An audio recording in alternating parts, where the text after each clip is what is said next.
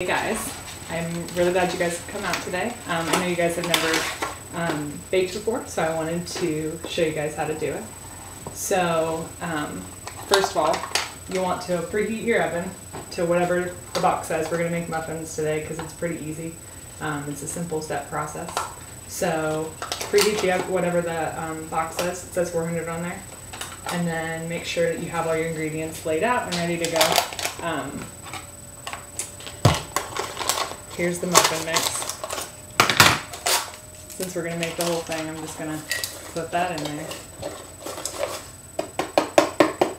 I have a question. What's that? How long do you preheat? Um, preheat until it dings and says that it's ready. Oh, it tells you? So yeah, it, normally like ovens start at like 350, and since we're preheating at 400, um, we're gonna have to wait a little bit until it's caught up. Oh, So, um, we put the mix in. It's also calling for one egg.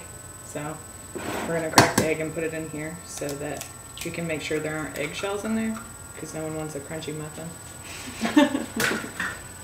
so, that looks good.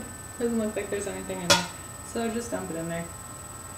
And then also calls for a fourth cup milk. So, I have some milk here. And in order to get the right measurement, which is important because you don't want soupy muffins, or eggs. or eggs. you just get it down here and make sure at the level of the mixing cup that it's at the fourth cup line. Now, does it matter what type of milk we use? No, it, that's Okay. totally personal preference. Right. And then you just dump that in there.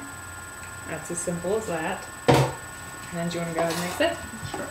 Make sure you get it so it's not lumpy. Um, you want to make sure that you start with a clean workspace so that there's less cleanup in the end. Make sure that there aren't like things around that can contaminate the food and that your hands are clean and everything's together.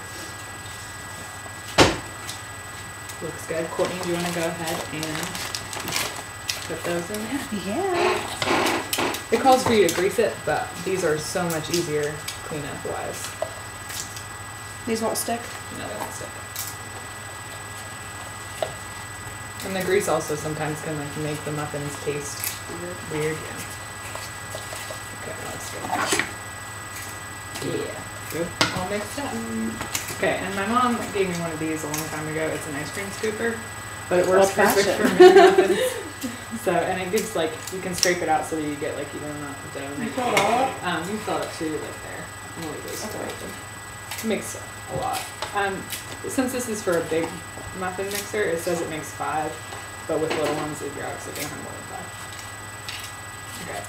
Who wants to Batter? distribute the batter? Now, do you bake them the same amount of time on the box, or Yes. since they're smaller, it takes less time? You or can bake it the same amount of time. It says until golden brown on most things, like with cookies and everything. Um, you can go ahead and start if you'd like. But um, you can keep an eye on it as you go. Mm. Nine times out of ten, they'll come out perfect if you do it. It's okay if you drip, you can just wipe it off. Um, yeah, perfect. You want to fill it to about like the halfway mark, so then they don't overfill. Yeah. Good job, Gives it room to, to bake properly, so that everything is together. Um,